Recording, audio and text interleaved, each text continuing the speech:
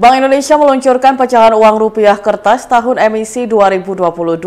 Ada tujuh pecahan uang kertas dengan nominal Rp1.000 hingga Rp100.000 yang kini memiliki desain baru.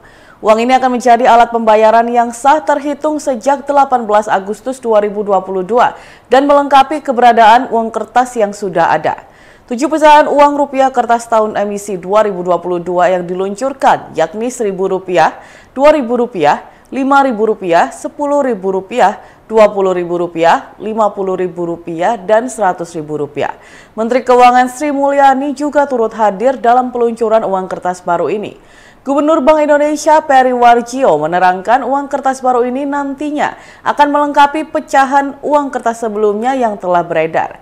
BI tetap mempertahankan gambar utama pahlawan nasional pada bagian depan, serta kebudayaan Indonesia seperti tarian, pemandangan alam, hingga flora pada bagian belakang.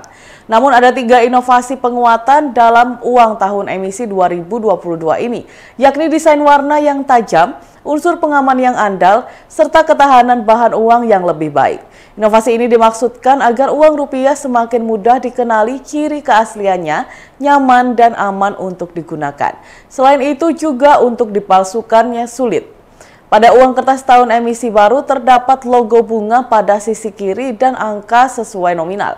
Pengeluaran uang tahun emisi 2022 yang bertepatan dengan momentum HUT RI ke-77 menjadi wujud semangat kebangsaan, nasionalisme, dan kedaulatan untuk menumbuhkan optimisme terhadap pemulihan ekonomi nasional.